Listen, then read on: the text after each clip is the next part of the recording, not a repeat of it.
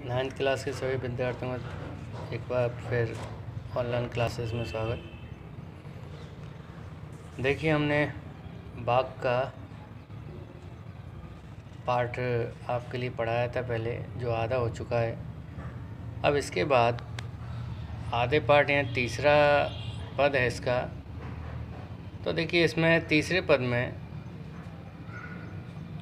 आई सीधी रहा से, गई ना सीधी रहा सुसेम सेतु पर खड़ी थी। बीत गया दिन आहा।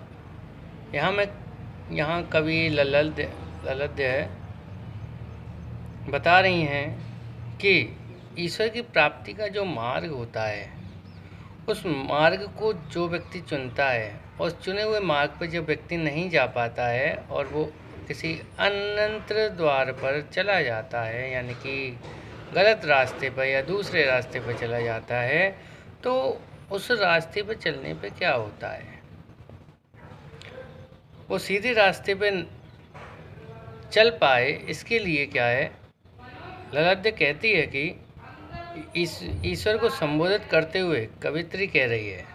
क्या कहती है? कि आई सीधी रहा से गई ना सीधी रहा। और सुसेम सेतु पर खड़ी थी, बीत गया दिन आहा। कि मैं क्या है? ईश्वर ने मुझको जन्म दिया। अब जन्म देने के पश्चात ईश्वर के सबके लिए क्या है? सुमार्ग लेके चलता है, सुमार्ग पे जाने के लिए कहता है, परंतु मनुष्य अपने कार्यों से वो उस सीधे राह पे ना जाके और वो ऐसे राह राह चुन लेता है जिससे वो ईश्वर की प्राप्ति नहीं कर पाता है। तो केवल क्या समर्पण भाव के द्वारा ही ईश्वर को प्राप्त किया जा सकता है। अगर ईश्वर के प्रति व्यक्ति समर्पित हो तो वो क्या ईश्वर को प्राप्त कर सकता है? तो सुसेम सेतु देखिए एक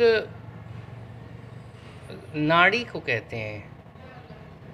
नाड़ी जो होती है मनुष्य की, मनुष्य को पूर्ण रूपेण शक्ति प्रदान करने काम आती है। और इसमें भी तीन प्रधान नाड़ियाँ होती हैं। तो मनुष्य के अंदर सोचने समझने और कुछ कार्य करने की जो शक्ति प्रदान होती है वो वो नाड़ी के द्वारा होती है सुसेम सेतु। और सुसेम सेतु कहते हैं यानी कि एक तरह से आ, कहना चाहिए कि मनुष्य के अंदर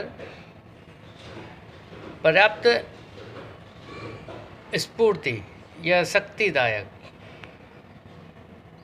तो उन बातों को मनुष्य के अंदर डालना।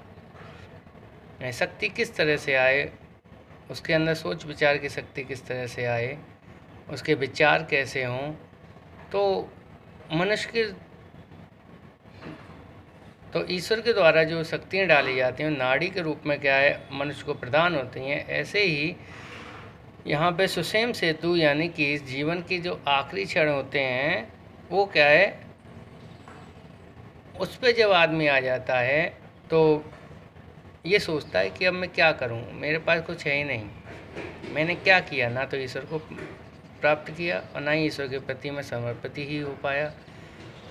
तो आई सीधी रहा से गई, ना सीधी रहा। तो यहाँ पे ललद कहती हैं कि ईश्वर ने तो क्या है, मुझको सही रहा देकर और इस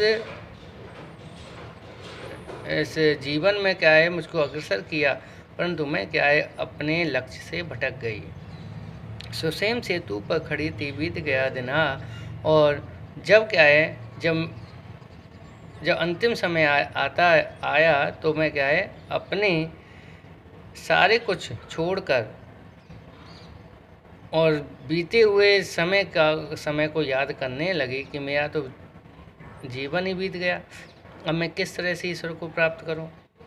तो जेब टटोली कौड़ी ना पाई तो लास्ट में क्या है कि जिस तरह से व्यक्ति के पास जब पैसे समाप्त हो जाते हैं, और उस समय अगर किसी व्यक्ति को कोई भी वस्तु की अगर आवश्यकता पड़ती है तो जेब में क्या है, वो हाथ डाल के देखता है तो उस समय क्या उसको कुछ प्राप्त नहीं होता है। ऐसे ही पूरे जीवन में जब ईश्वर की प्राप्ति ही नहीं की, ईश्वर के प्रति समर्पित नहीं हो पाए तो फिर क्या होता है कि उसका जीवन निरर्थक हो जाता है। जैसे कि एक धन के अभाव में व्यक्ति का जीवन निरर्थक हो जाता है, ऐसे ही क्या है, पूरा जीवन ईश्वर के अभाव में निरर्थक हो जाता है।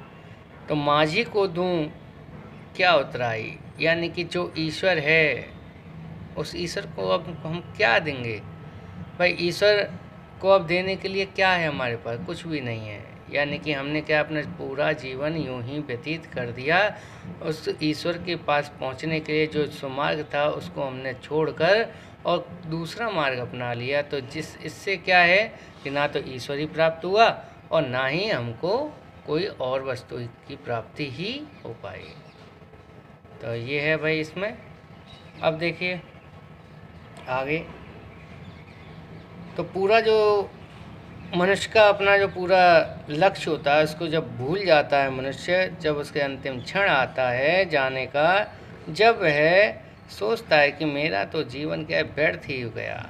यानी कि अब उसको अपना जीवन व्यर्थ लगने लगता और कुछ समय न, और और उस समय कुछ ना कर सकने की उसको असमर्थता बहुत महसूस होती है, वो पीड़ादायक होती है कि मैंने अपना जीवन यूँ ही गवा दिया। फिर देखिए आगे थल थल में बसता है शिव ही। भेदना कर क्या हिंदू मुसलमान? ज्ञानी है तो स्वयं को जान, बड़ी है साहिब की पहचान।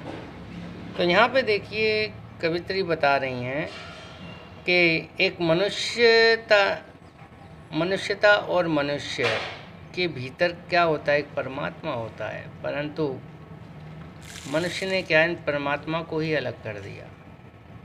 तो ये कह रही है थल थल में बसता है शिव भी, यानी कि हर जगह शिव की महिमा है। यानी कि भगवान, शिव हैं, वो हर जगह बसते हैं। ये शिव को मानते थे, इन्होंने शिव का उदाहरण दिया है। भेदना कर, क्या हिंदू मुसलमान? यानी कि मनुष्य को क्या भेद नहीं करना चाहिए कि ये हिंदू है या ये मुस्लिम है। ज्ञानी है तो स्वयं को जान। जो व्यक्ति ज्ञान, ज्ञानी होता है, वो मनुष्य क्या है? अपने आप को समझ कि मैं हूँ क्या आखिर? मैं हिंदू हूँ या मुसलमान हूँ या ईश्वर की संतान हूँ? वही है साहिब की पहचान। जब मनुष्य अपने आप को जान जाता है तो वो ईश्वर की प्राप्ति कर लेता है। अन्यथा वो इसी चक्कर में पड़ा रहता है कि मैं हिंदू या मुसलमान हूँ। तो यहाँ पे देखिए जो शिव है, जो हिंदू मुसलमान का जो भेद है, ये इन्होंने अलग अलग किया है कि भाई हिंदू और मुसलमान में कोई भी भेद नहीं है। वास्तव में दोनों क्या एक समान है? अल्लाह है, शिव है, दोनों एक समान है तो मनुष्य भी क्या है? समान है दोनों। तो हे मनुष्य, अपने ज्ञान को, ज्ञान से सर्वप्रथम तू अपने खुद को जानने का प्रयास कर। जो अगर तेरे अंदर ज्ञान है तो उससे अपने आप को जानने का प्रयास कर कि तू क्या है। तू किस परमात्मा की परमात्मा की खोज में जा रहा है। अगर तेरे को अपने स्वयं की पहचान हो जाएगी तो तेरे को परमात्मा की भी पहचान हो जाएगी। तो ये यहाँ पे क्या है, इसका ये भी सरल है, इसका अर्थ। तो इसमें ज़्यादा क्लिष्टता नहीं है, परंतु देखिए आप क्या है दोबारा से इस वीडियो को थोड़ा सा ध्यान से सुने जिससे कि आपको समझ में आए। तो ये पार्ट आपका क्या है? ललद्य का ये समाप्त होता है और इसके क्वेश्चन आंसर हम आपके लिए कर डालेंगे। तो आपका ये पार्ट है ये, पार्ट नंबर ग्यारह है, वैसे पद्य संग्रह से ये दूसरा पार्ट है। तो आपका ये पार्ट समाप्त होता है। नमस्कार।